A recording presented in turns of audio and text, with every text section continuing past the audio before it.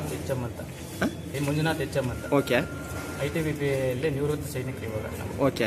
ಇವರು ಪ್ರೆಸೆಂಟ್ ಆಗಿದ್ವು ಎಲ್ಲ ಈ ಕೆಲಸ ನಡೀಲೇ ಇಲ್ಲ ನಮ್ಮ ಕೆಲಸ ಎಲ್ಲ ಮುಗೀತು. ಮುಗಿಸ್ಕೊಂಡು ಬಂದ್ರು ಎರಡು ವರ್ಷ ಆದ್ರಿಂದ ನಾನು ಹೋರಾಟ ಮಾಡ್ತಾ ಇದ್ದೀನಿ. ಒಂದು ನನ್ನ ಸರ್ವೆ ಮಾಡಿಸಿ ನನ್ನ ರಸ್ತೆ ಕೊಡ್ಸಕ್ಕೆ. ಇವಾಗ ಅವ್ರ ರಸ್ತೆಗೆ ಪಾಯ ಕೂಡ ಆಗ್ತಿದ್ದಾರೆ ಓಕೆ. ಯಾವ ಊರಲ್ಲಿ? ಅವರು ಸತೀಶ್ ಎಸ್ ಶ್ರೀನಿವಾಸ ರೆಡ್ಡಿ ಅಂತ ಅವರು. ಹಾಂ ಕೂಡ ಕೂಡ ಇದೆ. ಅಲ್ಲ ಊರು ಊರು ಯಾವ? ಹಿರಣ್ಯಪಲ್ಲಿ ಗ್ರಾಮ. ಹಿರಣ್ಯಪಲ್ಲಿ ಕಾರ್ತಿ ಪಂಚಾಯಿತಿ. Okay okay. ಇವರು ವಿಡಿಯೋ ಫೋನ್ ಮಾಡಿದ್ರೆ ಅವ್ರು ಏನು ಒಂಥರ ಲೇಜಿ ನೋಡೋಣ ಬಿಡ್ರಿ. ಹ್ಞೂ ವಿಡಿಯೋ ಹೆಸರು ಸರ್? ಶ್ರೀನಿವಾಸ್ ಅಂತ. ಓಕೆ. ವಿಡಿಯೋ ಅವರು ಮೊದಲಿಂದನೂ ಅಷ್ಟೇ ಸರ್. ಎಲ್ರಿಗೂ ಅವರು ಏನು ಮಾಡಬೇಕು ಅಂತ ಅವ್ರಿಗೆ ಮಾರ್ಗದರ್ಶನ ಕೊಡ್ತಾ ಇದ್ದಾರೆ ಅವರಿಗೆ. ನಾವು ಈ ಥರ ಇದ್ದು ನಾವು ದೇಶ ಎಲ್ಲ ಸುತ್ಕೊಂಡ್ ಬಂದಿದ್ದೀವಿ ಸರ್. ನಮ್ಗೇನೋ ಒಂದು ಸಹಾಯ ಮಾಡಿಕೊಡಿ ದಾರಿ ಮಾಡಿಕೊಡಿ ಅಂತ ಹೇಳಿದ್ರೆ ಒಳಗೆ ಹೋಗಕ್ಕೆ ಕೂಡ ಇದೇ ಇಲ್ಲ ಸರ್. ಒಳಗೆ ಹೋಗಕ್ಕೆ ಕೂಡ ರಸ್ತೆಯನ್ನ ಬೇಕಲ್ಲ? ರಸ್ತೆಯನ್ನ ಮಾಡಿಕೊಡಿ ಸರ್ ನಮ್ಗೆ ಬೇಕಾಗಿರೋ ರಸ್ತೆ.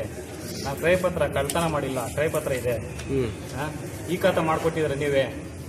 ನನಗೆ ಒಂದು ರಸ್ತೆ ಮಾಡಿಕೊಡಿ ಅಂತೆ. ನೀವು ಕೋರ್ಟ್ಗೆ ಹೋಗ್ರಿ. ಹ್ಞೂ ಇವರು ಯುವ ಕೂಡ ಇವಾಗ ಕೋರ್ಟ್ಗೆ ಹೋಗ್ರಿ ನೀವು. ಎಲ್ಲ ಕ್ಲೋಸ್ ಮಾಡ್ಕೊಂಡಿದ್ದಾರೆ ಸರ್. ನಾನು ಕೋರ್ಟ್ಗೆ ಹೋಗಿ ಏನು ಮಾಡೋದು? ಇವಾಗ ನಿವೇಶನೊಳಗೆ ಹೋಗಕ್ಕನ್ನ ಜಾಗ ಬೇಕಲ್ಲ. ಆ? ಜಾಗನೇ ಇಲ್ಲ.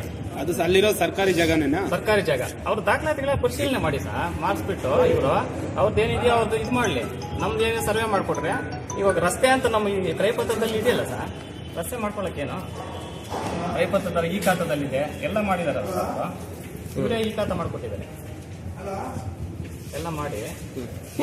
ಮಾಡ್ಕೊಂಡ್ರೆ ಮಾಡ್ಕೊಂಡು ಹೋಗ್ರಿ ಸರ್ ನಾನು ಇಲ್ಲೇ ಇರ್ತೀವಿ ಸರ್. ಇವಾಗ ಸಾಯೋವರೆಗೂ ನಾನು ಇಲ್ಲೇ ಇರ್ತೀನಿ. ಮಾಡ್ಕೊ ಹೋಗ್ರಿ. ಯಾರೋ ಹೇಳಿ ಸಾಹೇಬರು ಈಗ ನಿಮ್ ಮಾಡ್ಕೊಡಕ್ಕಾಗಲ್ಲ ಅಂತ ಹೇಳಿದ್ರ? ಅಲ್ಲ ಏನಂದ್ರೆ ಏನ್ ರೆಸ್ಪಾನ್ಸ್ ಇಲ್ಲ ಇವಾಗ. ತಡ ಇವಾಗ ನಂಗೆ ಹೋಗಕ್ ರಸ್ತೆ ಮಾಡೋಣ ಮಾಡ್ಕೊಡ್ಬೇಕಂತ ಅಲ್ಲಿ ಏನ್ ಯಾರನ್ನ ಪೊಲೀಸರನ್ನ ಕಳಿಸಿ ಏ ನೀವು ಮಾಡಿಸ್ಬೇಡಿ. ಇವಾಗ ಕೆಲಸ ನಡೀತಾ ಇದೆ. ಕಲ್ಲುಗಳ ಅಡ್ಡ ಹಾಕಿದ್ದಾರೆ. ಅದೇ ನೀವು ಜನಗಳಿಗೆಲ್ಲ ನೀವು ಕಾಯೋ ಸೈನಿಕರಾಗಿನೂ ಇಲ್ಲಿ ಮಾತ್ರ ನಿಮ್ಗೆ ನ್ಯಾಯ ಇಲ್ಲ. ಇದುವೇ ಇಲ್ಲ. ಹಾ ನಾನು ಸಲಹೆ ಕೊಟ್ಟಿರೋದು. ನೋಡಿ ಸರ್ ಎರಡು ಸಾವಿರದ ಹದಿನೆಂಟು ಹನ್ನೆರಡು ಹದಿಮೂರು ದಿನಾಂಕ.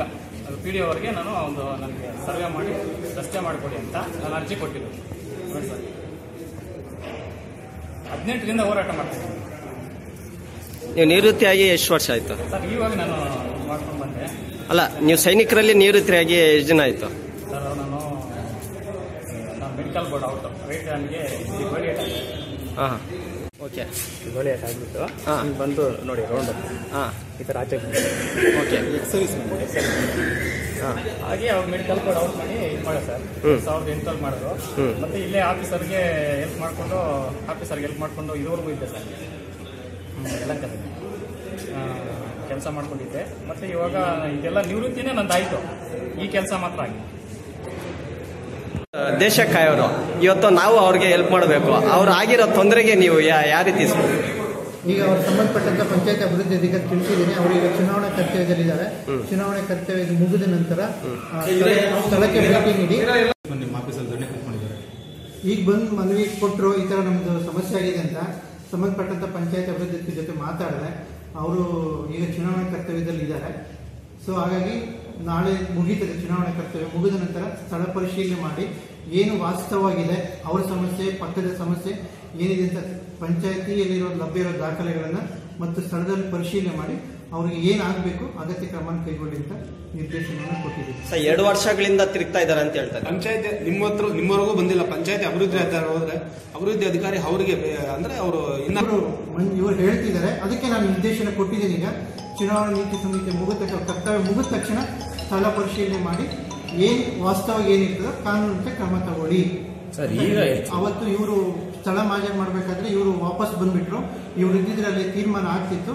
ಇವ್ರು ಅಲ್ಲಿ ಇರ್ಲಿಲ್ಲ ವಾಪಸ್ ಬಂದ್ಬಿಟ್ರು ಅಂತ ಅವ್ರು ಹೇಳ್ತಾರೆ. ಅದಕ್ಕೆ ಮತ್ತೊಮ್ಮೆ ಈಗ ಹೋಗಿ ಅಂತ ಹೇಳಿದ್ವಿ. ಇನ್ನೊಂದು ಬಾರಿ ಪೊಲೀಸ್ ಪ್ರೊಟೆಕ್ಷನ್ಗೆ ಹೋಗಿ ಕ್ರಮ ತಗೊಳ್ಳಿ ಅಂತ ಹೇಳಿದ್ವಿ. ಸರ್ ಈಗ ವಿಶ್ವಾಸ ಹೇಳೋಣ ಈಗ ಅವ್ರು ಚುನಾವಣಾ ಕರ್ತವ್ಯದಲ್ಲಿ ಇರೋದ್ರಿಂದ ಈಗ ಅದನ್ನು ಅವ್ರು ಹೇಳಿ ಕಳಿಸಿದ್ದೀನಿ. ಚುನಾವಣಾ ಕರ್ತವ್ಯ ಮುಗಿದ್ಮೇಲೆ ಕ್ರಮ ತಗೊಳ್ಬೇಕು ಅಂತ ಭರವಸೆ ಕೊಡ್ತಾರೆ ಏನು ಅವ್ರ ನ್ಯಾಯಬದ್ಧವಾಗಿ ಏನಿತ್ತು ಇಬ್ಬರದ್ದು ದಾಖಲಾತಿಗಳನ್ನು ಪರಿಶೀಲನೆ ಮಾಡಿ ಕಾನೂನು ಪ್ರಕಾರ ಏನಿತ್ತು ಅದನ್ನು ನ್ಯಾಯ ಒದಗಿಸ್ತಾರೆ ದಾಖಲಾತಿ ಕೊಟ್ಟಿರ್ತಕ್ಕಂಥ ದಾಖಲಾತಿಗಳೇ ಕರೆಕ್ಟ್ ಆಗಿದೆ. ಈ ಸ್ಥಳ ಪರಿಶೀಲನೆ ಮಾಡಿದಾಗ